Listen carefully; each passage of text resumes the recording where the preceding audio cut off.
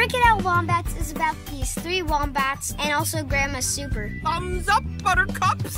They explore and have adventures, and they love to work together to solve problems. Apple! So get ready to mess up some fixes, and fix up some messes with Work It Out Wombats!